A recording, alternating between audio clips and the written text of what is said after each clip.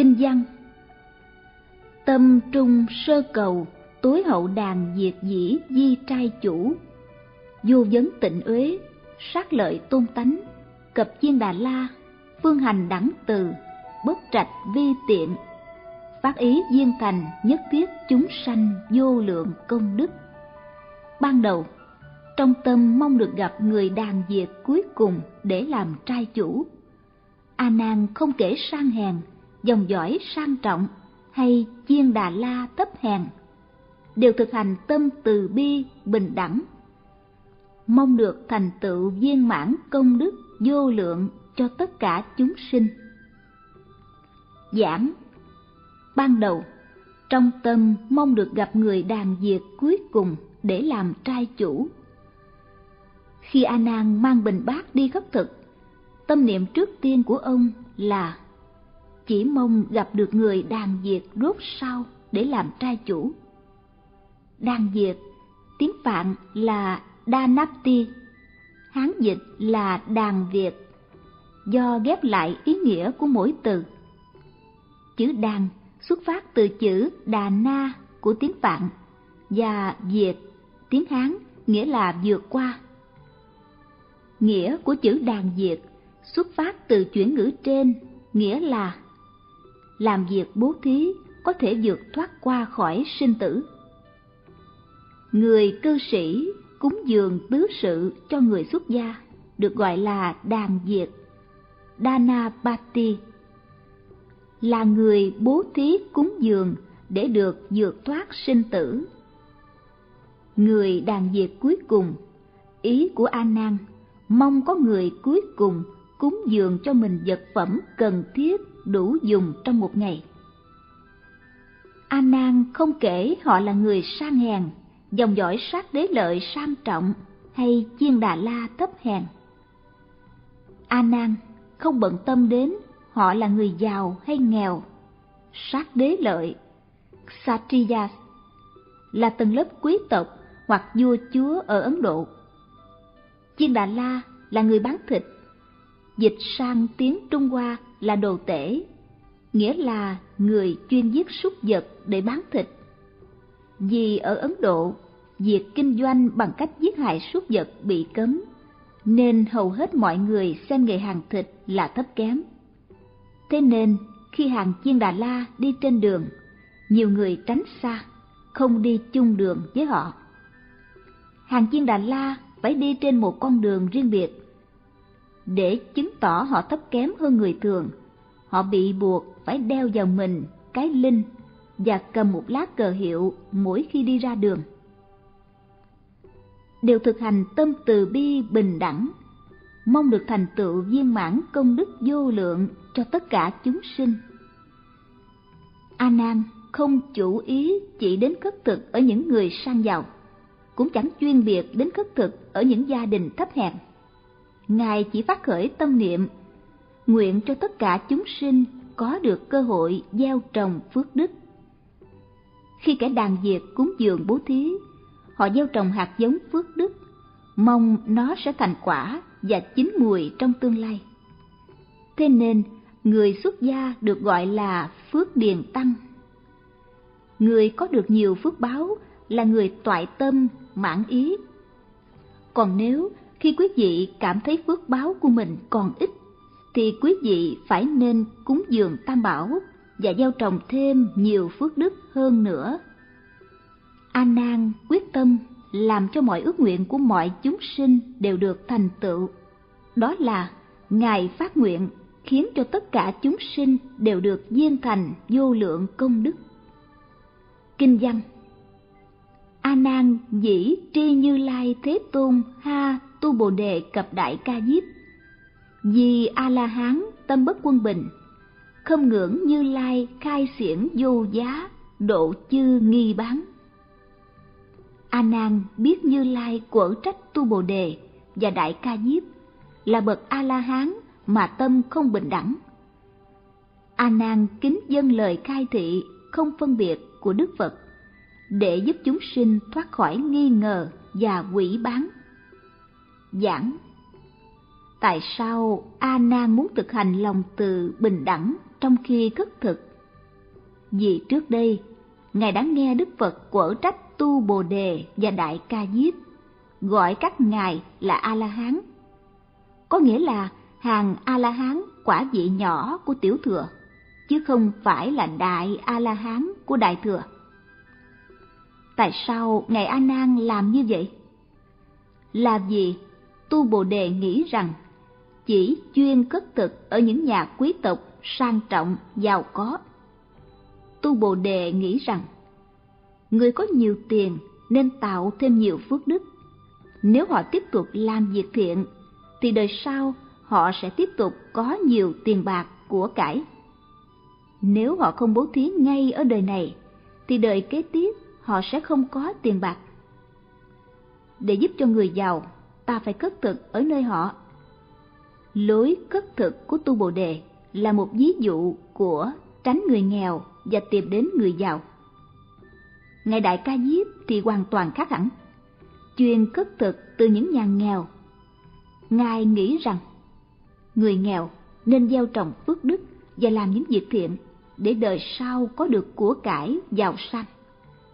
Nếu mình không giúp họ bằng cách cất thực nơi họ, thì vào đời sau và nhiều kiếp trong tương lai, họ sẽ tiếp tục bị nghèo khổ. Cả hai vị tu bồ đề và đại ca diếp đều là A-la-hán. Tôi tin là có một lý do khác ẩn sau tâm nguyện của từng người. Dường như chắc chắn là tu bồ đề thích dùng thực phẩm ngon quý, còn ngài đại ca diếp là vị thực hành khổ hạnh đệ nhất trong số các đệ tử của Đức Phật. Ngài thường ăn những thứ khó nuốt nổi, khiêm hạ nhất trong cách sống mà người khác không thể làm được. Cố nhiên, Ngài chẳng hề bận tâm đến việc mình dùng thực phẩm ngon hay dở, nên Ngài chuyên cất thực ở những gia đình nghèo hèn để giúp cho họ có cơ hội gieo trồng phước đức. Phẩm vật cúng dường từ người nghèo không bao giờ ngon lành như phẩm vật của người giàu có. Đồ ăn của người giàu thải ra ngoài đường chắn còn ngon hơn vật phẩm dân cúng của người nghèo. Đức Phật biết hai vị đệ tử này không thực hành tâm từ bình đẳng trong khi cất thực. Đức Phật biết được tâm niệm phân biệt của họ. Thế nên Như Lai đã của trách Tu Bồ Đề và Đại Ca Diếp đã là bậc A-la-hán mà tâm không bình đẳng. A Nan kính dân lời khai thị không phân biệt của Đức Phật để giúp chúng sinh thoát khỏi sự nghi ngờ và quỷ bán. A Nan rất tôn trọng pháp môn bình đẳng, khuyên dạy mình không nên chọn lựa kẻ đàn diệt giàu nghèo. Tâm phân biệt như thế không phải là người tu tập pháp đại thừa, mà là theo pháp tịch diệt của hàng A La Hán, ngã không nhớ lại lời của trách tu bồ đề và đại ca diếp của đức phật nên a nan không muốn bắt chước như vậy nên a nan cẩn trọng thực hành lòng từ bình đẳng pháp môn của đức phật thích ca mâu ni là pháp môn phương tiện rộng rãi thoát khỏi mọi chướng ngại dù nhỏ nhất và vượt lên trên mọi giới hạn nếu chỉ chuyên khất thực ở nhà giàu hoặc nhà nghèo họ sẽ khởi tâm nghi ngờ, khiến họ quỷ bán Phật Pháp. Khất thực với tâm không phân biệt sẽ làm cho lòng nghi ngờ quỷ bán Phật Pháp đều được tiêu trừ, khiến cho mọi người đều quan hỷ, gieo trồng phước đức và tâm nguyện của họ được thành tựu. Kinh văn Kinh bỉ thành hoàng, từ bộ quách môn, nghiêm chỉnh oai nghi, túc cung trai pháp. A Nan thông thả đi qua hoàng thành, rồi vào cổng, uy nghi nghiêm chỉnh theo đúng pháp quá trai.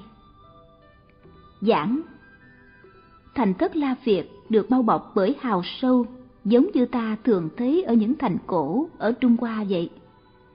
Trong hào luôn luôn chứa nước rất sâu, tạo nên hệ thống bảo vệ cho thành. Khi A Nan đã đi qua hào nước là đã đi vào trong phạm vi của đại thành Thất La Việt. A Nan thông thả đi qua hoàng thành, rồi vào cổng, uy nghi nghiêm chỉnh theo đúng pháp quá trai. A Nan bước đi chững chạc, mắt nhìn thẳng phía trước. Lúc ấy, oai nghi của ngài rất nghiêm chỉnh. Với phong thái nghiêm trang như vậy, ngài thông thả đi qua cổng thành.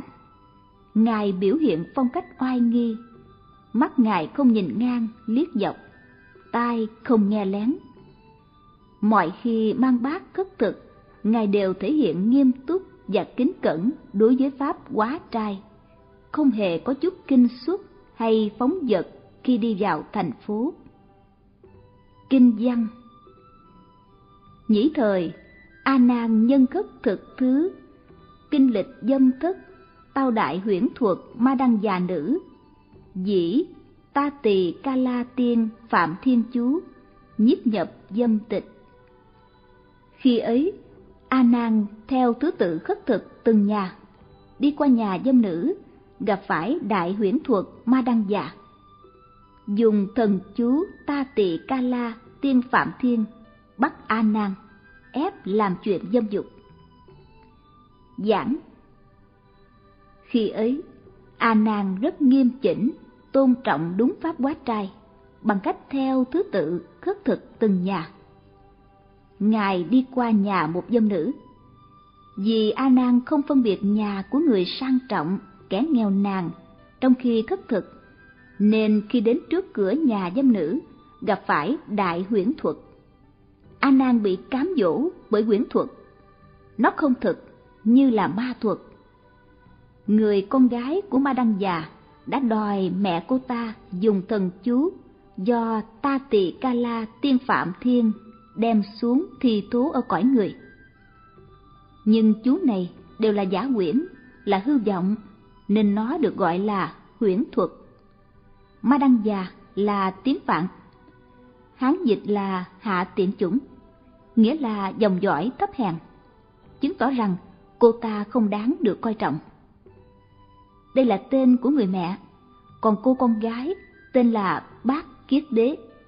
Hán dịch là bổn tánh, nghĩa là tuy cô ta đọa vào hàng dâm nữ, nhưng bản tánh trong sáng không hề mất. A Nan bị cám dỗ bởi thần chú Ta Tỳ Kala, Kabila, tiên Phạm Thiên. Kabila là loại ngoại đạo tóc vàng. Kim đầu, bà Ma Đăng Già học được tà chú này từ nhóm ngoại đạo tóc vàng. Thực ra biểu tượng của thần chú là danh xưng hư dối, vì nó không được truyền thụ từ Phạm Thiên. Chỉ có người đề xướng tự tuyên xưng nó như vậy khiến người nghe phải tin. Tuy vậy, khi bà ta trì chú cũng khiến cho tinh thần của An Nan bối rối và rơi vào cơn hôn mê như là buồn ngủ, như uống rượu say hay như nằm mơ, chẳng còn biết chuyện gì đang xảy ra. An Nan bị sai sử bước vào phòng dâm, bị chú Ta Tỳ Ca La Tiên Phạm Thiên hoàn toàn chi phối, tự tánh của a Nan hoàn toàn bị che mờ. Quý vị sẽ hỏi, vốn A Nan là một vị thánh, đã chứng được sơ quả A La Hán rồi. Cớ sao tà chú Ta Tỳ Ca La Tiên Phạm Thiên có thể là mê mờ được? Thực ra, A Nan chưa chứng sơ quả trước khi gặp nạn. Vì A Nan chỉ biết tập trung vào việc học kinh mà không chú tâm vào việc tu tập định lực, nên dù A Nan đã chứng được sơ quả, nhưng định lực vẫn chưa đủ. Vậy nên khi gặp loại ma này, A Nan liền bị mê hoặc, bị cô ta bắt vào phòng riêng, ép làm chuyện dâm dục. A Nan rất đẹp trai, thân thể hoàn hảo như thân của Phật, cũng có 32 tướng tốt. Da trắng như tuyết, sáng bóng như bạc, lấp lánh như có sương phủ. Hầu hết người Ấn Độ đều có nước da màu đen sạm, nhưng da của A Nan rất mềm mịn, đặc biệt là rất sáng. Đó là lý do khiến cho cô con gái của Ma Đăng già si mê mãnh liệt ngay từ phút giây đầu tiên để mắt đến A Nan. Cô ta liền chạy đến bên mẹ mình, nói rằng cô ta muốn lấy A Nan. Mẹ của ta nói, ông ta là đệ tử của Đức Phật, làm sao con có thể cưới ông ta được? Ông ta là tăng sĩ và không thể cưới vợ, con không thể cưới ông ta được. Cô gái đáp lại. Điều ấy đối với con chẳng có gì khác lạ. Sao mẹ không nghĩ ra một cách để gài bẫy A Nan cho con? Nếu con cưới A Nan không được, con sẽ không muốn sống nữa. Cô gái nói một cách cương quyết. Ham muốn của cô ta quá mãnh liệt, đến mức xem đó là vấn đề sống chết. Có lẽ những vụ tự tử vì tình yêu ngang trái thời nay đều xuất phát như sự kiện con gái Ma Đăng Già. Bà Ma Đăng Già nghĩ rằng, à, con ta đã yêu A Nan quá rồi, ta phải nghĩ ra cách giải quyết việc gây go này. Bà ta đã sử dụng tà chú của ngoại đạo. Chú tiên Phạm Thiên là của ngoại đạo Ta Tỳ Kala, Kabila. Bà trì chú cho đến khi A Nan trở nên mê muội. A Nan đi theo cô ta với bộ dạng như kẻ say rượu, mê muội đến mức không thể phân biệt được nam bắc đông tây nữa. A Nan đi thẳng vào nhà, theo cô gái vào phòng riêng rồi nằm lên giường. Kinh văn Dâm cung phủ ma tương quỷ giới thể Dựa kề vuốt da khiến A Nan sắp quỷ phạm giới thể. Giảng Đây là lúc nguy hiểm nhất mà A Nan gặp phải. Cô con gái Ma Đăng già đến bên A Nan, cởi áo quần ông ra, rồi hai bàn tay cô ta bắt đầu vuốt da thân thể của A Nan. Dựa kề vuốt da khiến A Nan sắp quỷ phạm giới thể. A Nan vẫn chưa bị quỷ phạm giới thể. Đây là điều rất quan trọng khi người đã thọ giới, họ tiếp nhận được giới thể rất thanh tịnh, vô tác giới thể. Nếu quỷ phạm giới thể, cũng giống như mạng sống của mình bị cắt đứt. Nên những người xuất gia xem việc giữ gìn không quỷ phạm giới thể là cực kỳ quan trọng. Nếu quý vị phạm giới, chẳng khác gì những người chết rồi. Ví như A Nan, nếu kinh văn nói rằng giới thể của A Nan đã bị quỷ phạm, có nghĩa là mọi chuyện đều chấm dứt với A Nan. A Nan sẽ bị đọa lạc và trong tương lai chắc hẳn phải rất khó khăn trong tu tập mới được tiến bộ. Tại sao con gái của Ma Đăng già lại có một sức hấp dẫn nếu kéo A Nan đến như thế? Xuất phát từ chuyện A Nan và con gái Ma Đăng già trong 500 đời trước đã là vợ chồng của nhau. Vì họ đã kết hôn với nhau từ nhiều đời trước, nên ngay khi cô ta thấy A Nan, tập khí cũ liền trỗi dậy. Cô liền cảm thấy yêu A Nan điên cuồng. A Nan đã là chồng của cô ta trong nhiều đời trước, nay cô ta lại dứt khoát muốn A Nan làm chồng cô ta lại.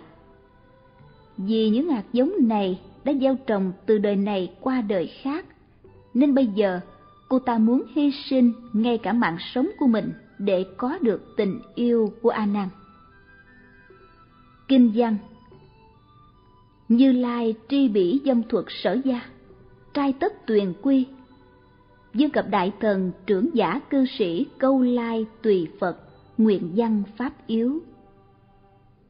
Như Lai biết A Nan bị dâm thuật kia gia hại, nên thọ trai xong liền trở về vua cùng các quan đại thần, trưởng giả, cư sĩ đều theo Phật, mong được nghe pháp yếu.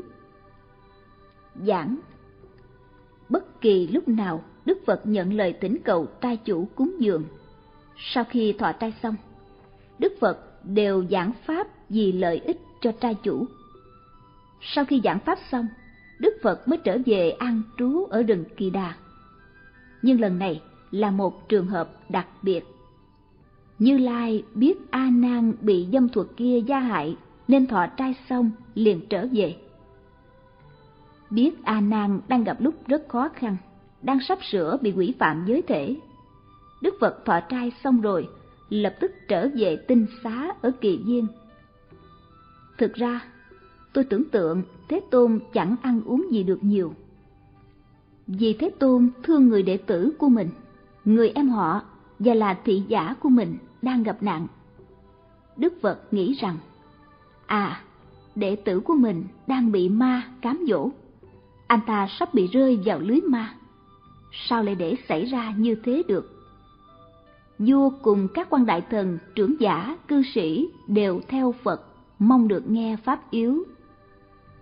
Mọi người ai cũng biết có những lý do rất quan trọng khiến Đức Phật không giảng Pháp cho trai chủ sau khi thọ trai xong. Họ nghĩ lý do chắc hẳn là thông báo về kỳ an cư sắp được chấm dứt. Thế nên, mọi người, vua, quan đại thần, trưởng giả, cư sĩ đều theo Đức Phật trở về tinh xá ở Kỳ Viên.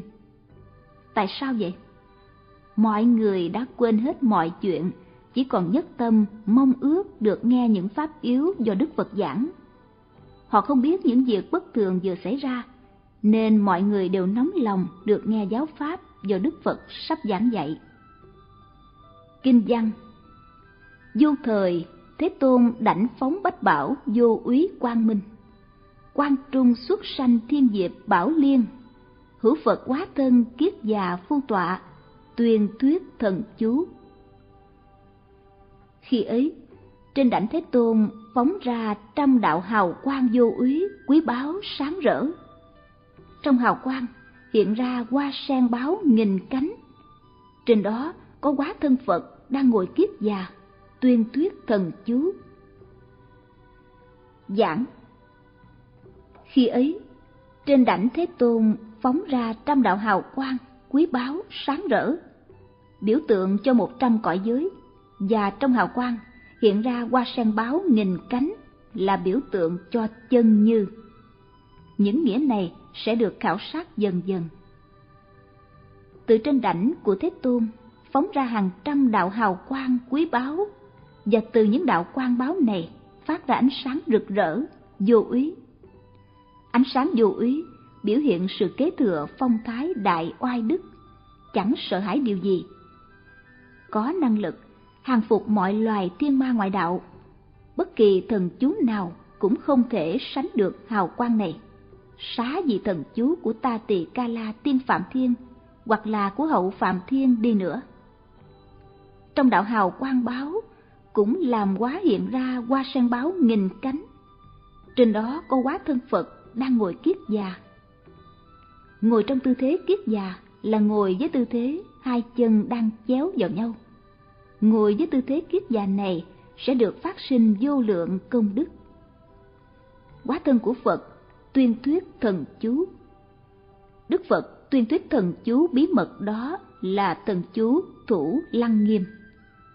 Đức Phật Thích Ca Mâu Ni dùng quá thân Phật để thuyết thần chú là biểu hiện mật nhân ở trong mật nhân, vua trong các vua của thần chú. Thần chú thủ lăng nghiêm rất là quan trọng. Quý vị tu học Phật Pháp nên phải học thần chú thủ lăng nghiêm quý vị sẽ thấy mình không phải là hạng người vô dụng. Nếu quý vị không học chú Thủ Lăng Nghiêm, cũng sẽ giống như quý vị leo lên ngọn núi bằng bảy báo, vàng, bạc, pha lê, lưu ly, sa cừ, xích châu, mã não, mà trở về với hai bàn tay không. Quý vị đã lên đến đỉnh núi, nghĩ rằng lên lấy một ít vàng hoặc ngọc, rồi do dự, hay là nên lấy bạc thì hơn. Cuối cùng không quyết định nên lấy thứ gì là hay nhất. Thế nên đành trở về tay không. Đó là tình trạng của người không học thuộc chú thủ lăng nghiêm. Thế nên tôi mong quý vị ít nhất là chịu khó học thuộc lòng chú thủ lăng nghiêm không nói là chỉ nỗ lực dài tuần mà có thể phải mất vài năm để học thuộc lòng chú thủ lăng nghiêm cũng được việc ấy rất có giá trị và cơ hội mà quý vị gặp được như bây giờ rất hiếm có, rất khó mà thâm nhập được.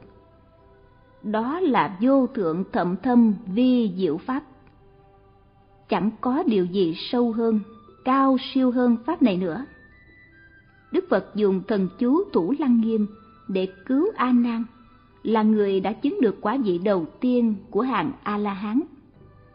Nay chúng ta hãy nghe nói về công đức của tư thế ngồi kiết già có một vị tăng bị thúc ép buộc phải tụng kinh và sám hối. Có nghĩa là vị tăng này thường phải nhận lời tụng kinh sám hối khi gia đình có người chết đến chùa thỉnh cầu để giúp cho người chết vượt qua biển khổ. Chư Tăng ở Trung Hoa thường thích gọi những người này là Tang Tang Bi. Xuất phát từ âm thanh của một loại pháp khí. Lý do của sự mời thỉnh tụng kinh này dĩ nhiên là gia chủ sẽ phải trả một số tiền sau mỗi lần tụng kinh. Chẳng hạn, mức giá hiện thời ở Hồng Kông cho một ngày tụng kinh ít nhất là 100 đô la Hồng Kông. Và dù muốn thỉnh một vị tăng cũng rất khó kiếm. Các vị tăng thích xoay sở tụng kinh như thế, thực sự phải luân phiên đến nhiều nơi trong ngày. Vì số người chết quá đông, nên chư tăng thường được mời đảm nhiệm những buổi lễ cầu nguyện cho người chết. Không đơn giản như ở nước Mỹ, chỉ cần một vị linh mục hoặc một vị mục sư cử hành lễ tang và chỉ như thế là đủ. Ở Hồng Kông, họ muốn thỉnh cho được năm hoặc bảy hoặc mười hoặc bốn mươi năm mươi vị tăng đến nhà để tụng kinh cầu siêu cho người chết. Vậy mà hôm đó có một vị tăng thuộc dạng này trở về chùa sau một ngày tụng kinh cầu nguyện cho người chết. Khi đi qua một ngôi nhà, con chó trong sân sủa vang. Ông nghe tiếng người vợ từ trong nhà nói với người chồng vọng ra. Ông ra xem thử ai. Dì Tăng thấy người chồng nhìn qua bức màn rồi đáp. Ôi, chỉ là con ma chuyên xoay sở tụng kinh đám. Dì Tăng đã qua, nhưng lời nói ấy cứ vang mãi trong tai ông. Tại sao người ấy gọi dì Tăng là con ma chuyên xoay sở tụng kinh đám? Tại sao ông ta không gọi là Đức Phật chuyên xoay sở tụng kinh đám? Khi dì Tăng tiếp tục trên đường về chùa, thì bất chợt trời mưa. Ông ta phải nứt mưa dưới một cây cầu. Vị Tăng suy nghĩ, ta nên ngồi thiền. Rồi ông ta ngồi thiền theo tư thế kiết già. Sau khi ngồi một lúc, có hai con quỷ đi tới. Khi nó đến nơi vị Tăng đang ngồi thiền, thì bọn quỷ đột nhiên dừng lại. Một con quỷ nói với con kia có một ngôi chùa vàng ở đây. Nhanh lên, hãy đánh lễ đi, có xá lợi của Đức Phật ở trong ngôi chùa vàng. Nếu chúng ta đánh lễ xá lợi Phật, nghiệp chướng của chúng ta sẽ được tiêu trừ. Thế là hai con quỷ bắt đầu đánh lễ. Sau khi chúng nó đánh lễ hồi lâu, thì cái chân của vị Tăng được gọi là con ma chuyên xoay sở tụng kinh đám, bắt đầu bị đau. Để có thể ngồi thoải mái hơn, vị tăng chuyển thế ngồi kiết già thành thế ngồi bán già. Đó là tư thế chân trái nằm trên bắp đùi phải. Lần này, hai con quỷ đến đảnh lễ, nó thấy có chuyện lạ. Nè, một con quỷ nói, ngôi chùa vàng kia vừa chuyển thành ngôi chùa bạc, mày có nhận ra không? Thì sao nào? Con quỷ kia đáp lại, chùa bằng bạc vẫn quý rồi chúng ta nên đánh lễ đi. Rồi cả hai con quỷ đồng đánh lễ. Nó đánh lễ một giờ rưỡi hoặc một giờ hay chỉ hai mươi phút. Chẳng có đồng hồ nên không thể nào biết được. Dù vậy, cho đến khi chân của vị Tăng lại bị đau, và ông ta uể oải, duỗi ra nghỉ, giống như khi quý vị từng làm mỗi khi ngồi thiền mệt mỏi. Vị Tăng suy nghĩ, ta nên nằm nghỉ chốc lát. Nhưng ngay lúc đó, hai con quỷ thoáng thấy ngôi chùa mình đang lạy biến thành một dũng bùn. Một con quỷ kêu lên. Nè, coi kìa, nhanh lên, hãy đánh nó đi. Nhận thấy hai con quỷ sắp đánh mình, dĩ tăng sững người vì sợ hãi, nhẹ nhàng trở lại ngồi gọn gàng trong tư thế kiết dạ. Vừa đúng lúc, hai con quỷ đồng thanh la lên. Ồ, thật đúng là xá lợi của Đức Phật ở trong đó. Thật là trò biến quá như yêu quỷ. Phút trước đó là ngôi chùa vàng, phút sau là chùa bạc, rồi trở thành giống bùn. Chúng ta tốt hơn chỉ nên đánh lễ, bất luận chuyện gì xảy ra. Rồi chúng lại không nghĩ cho đến khi trời sáng. Sự kiện này có một ảnh hưởng tác động đến vị tăng, con ma chuyên xoay sở tùng kinh đám Ông ta ngồi, suy nghĩ. Nếu ta ngồi trong tư thế kiết già, thì đó là ngôi chùa bằng vàng. Nếu ta ngồi với tư thế bán già, thì đó là ngôi chùa bằng bạc. Còn nếu ta không ngồi với hai tư thế ấy, thì chẳng có gì khác ngoài một dũng bùn. Tốt hơn là nên bắt đầu tu tập, không nên xoay sở tụng kinh đám nữa. Rồi ông ta vùi mình trong đề tài ấy ngay, và công phu tham cứu rất nghiêm mật. Sau một thời gian, ông được ngộ đạo, được tặng danh hiệu quỷ bức thiền sư. Vì nếu vị ấy không bị hai con quỷ dọa đánh, vị ấy chắc hẳn sẽ còn trì quản công phu và sẽ không bao giờ thành công trong việc tu tập. Kinh văn Sắc văn thù sư lợi, tương chú giảng hộ. Ác chú tiêu diệt, đề tưởng A Nan cập Ma Đăng già quy lai Phật sở. Đức Phật dạy ngài văn thù sư lợi đem thần chú đến cứu A Nan, khiến tà chú liền bị tiêu diệt, rồi dẫn A Nan và con gái Ma Đăng già về chỗ Phật. Giảng Cần phải có một vị có được trí tuệ rộng lớn mới cứu được một người si mê. Mặc dù A Nan đã chứng được sơ quả A La Hán, nhưng định lực của ông chưa đủ để khỏi bị mê hoặc bởi tà chú của Ma Đăng già. Để cứu A Nan, Đức Phật phải thể hiện phóng hào quang trăm báo với hoa sen ngàn cánh trong đó có quá thân Phật ngồi tuyên thuyết tần chú thủ lăng nghiêm. Thế nhưng A Nan đang ở nơi xa, nên Đức Phật cần một thành viên trong tăng già mang thần chú đi. Đức Phật chọn văn thù sư lợi Bồ Tát mang thần chú đi cứu hộ A Nan. Ngài đến nhà dân, nhà của Ma Đăng già để cứu hộ A Nan. Thần chú Thủ Lăng Nghiêm chỉ có vài dòng mà rõ ràng phá hủy ngay tức khắc pháp thuật của ngoại đạo. Ở đây, hiệu quả của thần chú thì không có gì sánh bằng. Thế nên khi Bồ Tát văn thù sư lợi đến nhà Ma Đăng già tuyên đọc thần chú Tủ Lăng Nghiêm, khiến ác chú liền tiêu diệt. Chú của tiên Phạm Thiên không còn hiệu lực nữa, A Nan liền thức tỉnh. Bồ Tát văn thù sư lợi còn phải dẫn A Nan và con gái Ma Đăng già về nơi chỗ Phật. A Nan đã bị mê muội bởi tà chú và sắp sửa bị rơi vào bẫy. Thế nên A Nan bị mất phương hướng và chẳng biết mình đang ở nơi đâu, giống như vừa mới tỉnh dậy sau một cơn mơ. Thế nên Bồ Tát Văn Thù Sư Lợi đến giúp đỡ cho A Nan, nắm lấy và kéo A Nan dậy. Quý vị sẽ hỏi, tại sao Bồ Tát Văn Thù Sư Lợi lại khuyến khích cô con gái của Ma Đăng Già?